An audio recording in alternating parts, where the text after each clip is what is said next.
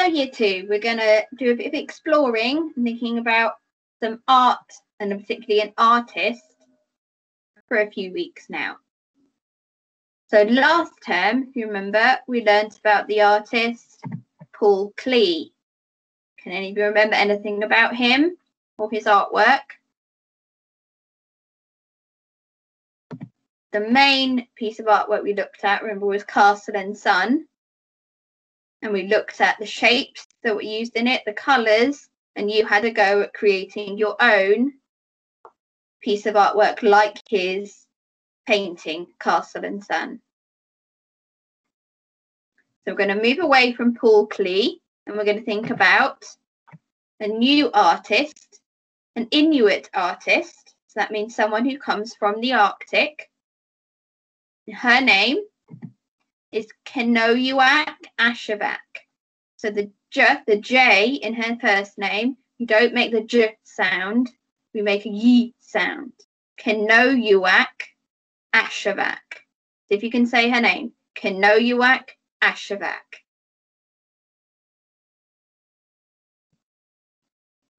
So here is a photograph of her. She is no longer alive. She died in 2013. But that's what she looked like later on in life.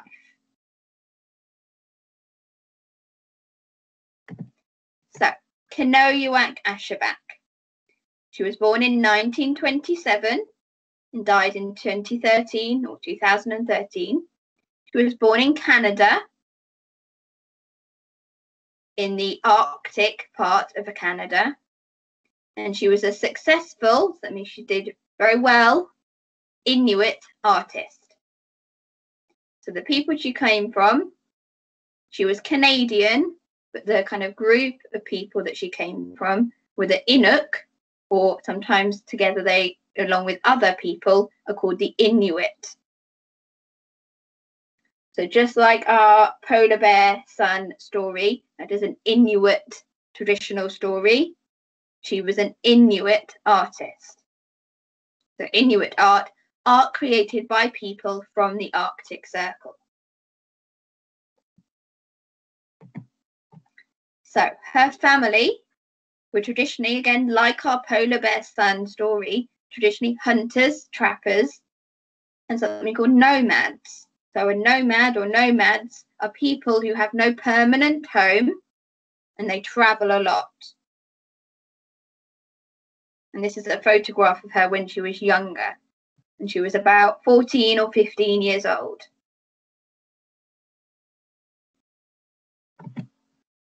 So Kenojuak Ashevak. Say her name again. Kenojuak Ashevak. Her family moved from camp to camp depending on when food ran out and where it could be found.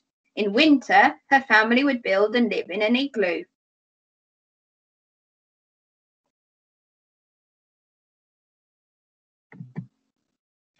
When she was about 23 years old, she got really sick. She spent three years in hospital getting better. And while she was there, she learned how to make dolls, do beadwork, and make stone cut prints. Now, I'm sure you know what dolls are beadwork, where beads are sewn onto clothes, and stone cut prints. I'm going to explain what that means in a minute. So, what she is most famous for, her artwork, are drawings.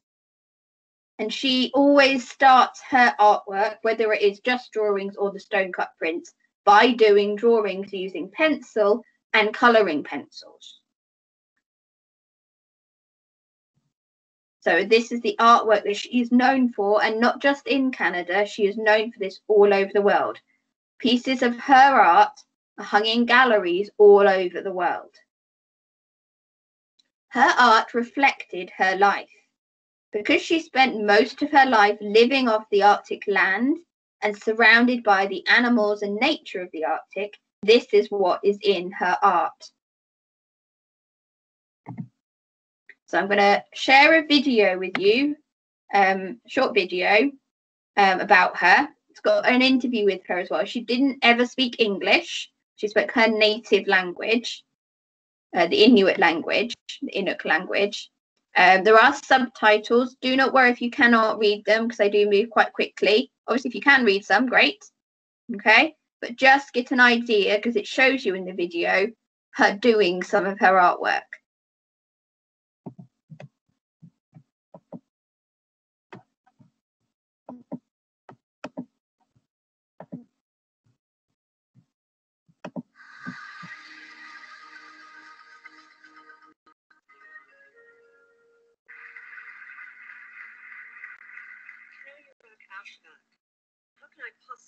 Describe in a few words an outstanding woman and artist?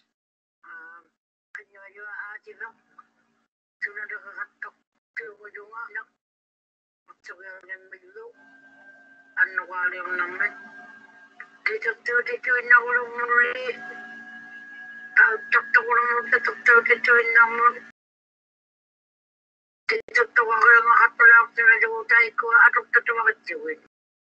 auko kitiane imang utunga karang tu titi rau nahu chiungu dunga e chiwa chati yunga chiwa chunga kai mau tito tunga tuwa chi pidia chi chiungu dunga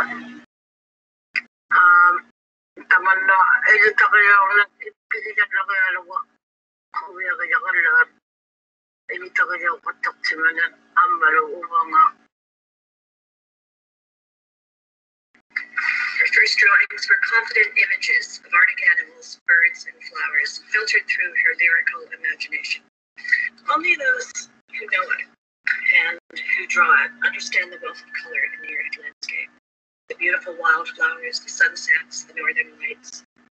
And only those who've lived in that landscape could find the means to translate its spirit into art.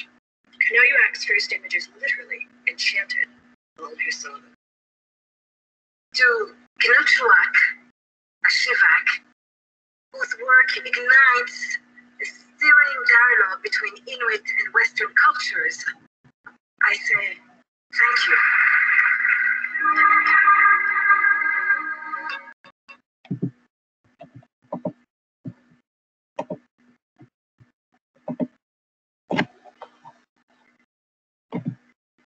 So she would always start by drawing, and so her drawings are hung in galleries all over the world.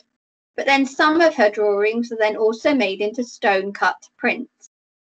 That means her drawing was then chiseled away and sculpted into a piece of stone. You can see someone doing it for her. It wasn't she wasn't the one who actually did the sculpting into the stone, but cutting away the shape that she had already drawn into the stone. Then ink or paint is rolled on top of that stone where it's been chiseled away.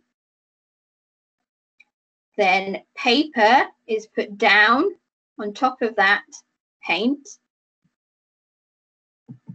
pressed down, and then peeled back up. So you can see here it's being peeled back up, paper, so that the impression of her drawing that has been carved into the stone has now been pressed onto the paper. So stone cut, because the stone has been cut, and then prints, it's then printed onto paper. Stone cut prints. So here is another, that's her on the left, uh, Kenojuak Ashevak, watching as one of her drawing has been is being turned into a stone cut print. And again, it, the paper is being peeled back off.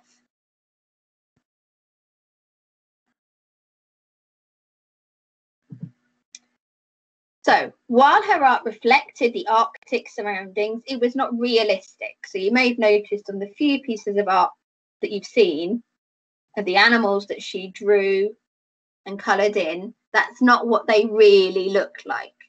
She used her imagination a bit, and if you no- noticed in the video we saw, she also said it was more about how she f- was feeling.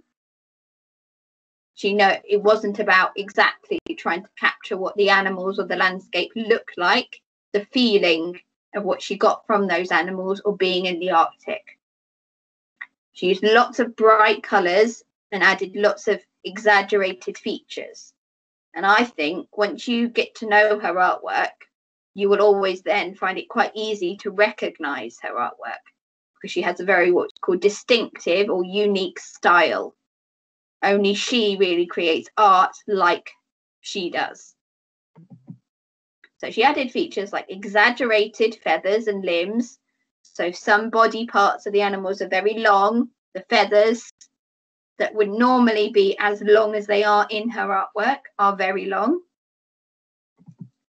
Use very bright colours that are not the true colours of the animals.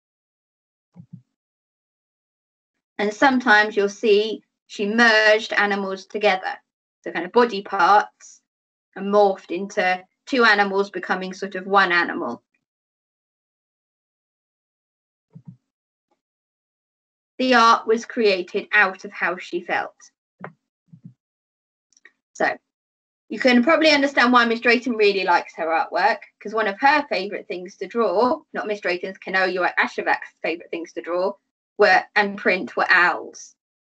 Partly because there are quite a lot of owl species in the Arctic. Mo most famous being the snowy owl. But the snowy owl is white with a few speckles. Does not look like the owls that Kenojuak Ashevak's artwork have. Because they're very bright colours, exaggerated feathers.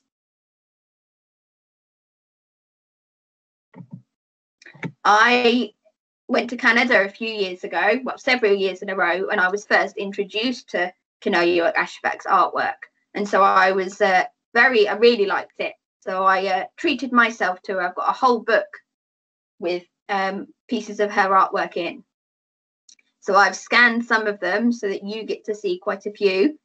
Um, we won't do them all this week. We'll have another look at some more next week. But as we go through the ones I'm going to share with you today, what I'd like to think about is whether obviously you like the art. Remember, just because Miss Drayton likes her art doesn't mean I like all her pieces, and there's certainly ones I prefer. think of, I enjoy looking at more than others. And equally, just because Miss Drayton likes her artwork doesn't mean you have to. We all have different opinions, and art is what we call subjective. So we can like different things, and there's nothing wrong with that. Okay, so you decide as we go through them do you like the artwork? each piece. What is it you like about them? What can you notice about that particular piece of artwork? So you, your personal response when you look at the artwork. How does the artwork make you feel? And probably just like Miss Drayton, some you are going to like more than others. Okay. So let's go through it again. So as you look at her artwork, think about and maybe if you've got an adult with you, talk about these things. So, do you like this artwork? And if so, or if not, why? How does the artwork make you feel? Do you like the colours and shapes that have been used? Which is your favourite piece of artwork of hers that you have seen so far? So, that final question you obviously can't really answer or think about till we've gone through all the ones I'm going to share with you today. So, here's one. that was created in 2002 called Swans at Sunset.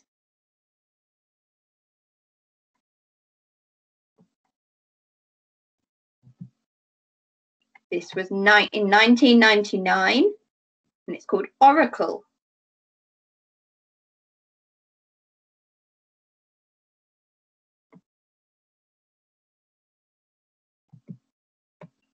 This one from 2002 called Owl's Treasure.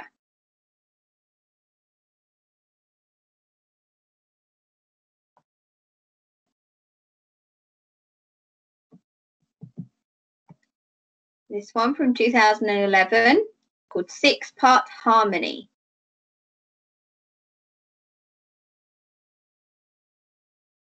Can you think why it's called six part? And do you know what the word harmony means? So why six part harmony?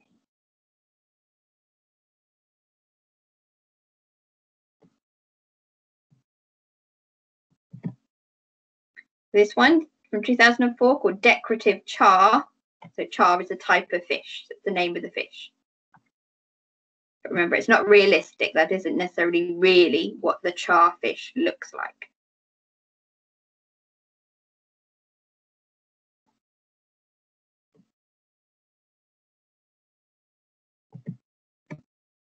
From 2004, loons protect the owl. So the loons are the bird, the other birds that are round surrounding the owl that's in the middle.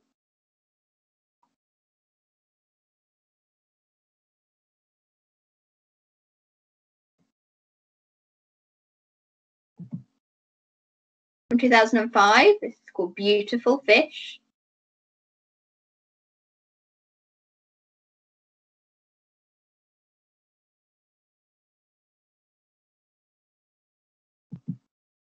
From 1999, this is called Tapestry of Owls.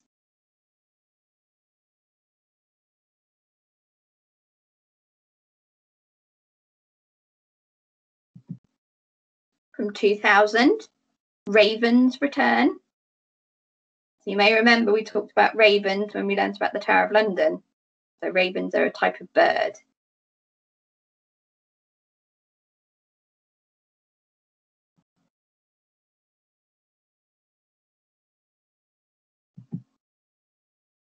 Two thousand and ten, is called Between Friends.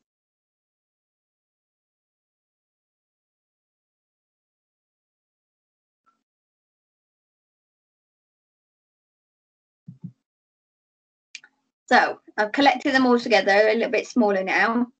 Have a little think about those questions I set. So do you like the artwork? Obviously, it may be that you like some more than others, or it may be not the kind of artwork that you do like, and that is okay. Maybe you could think about which is your favorite. Do you like the colors and the shapes? Do you like the fact that it's not realistic? Or would you prefer artwork that is more realistic, the more like the real animals really do look like? Do you have a favorite one?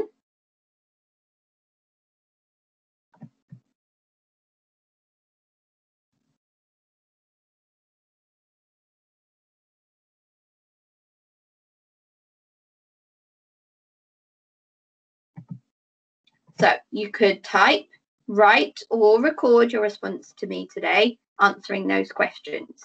I don't mind. You choose.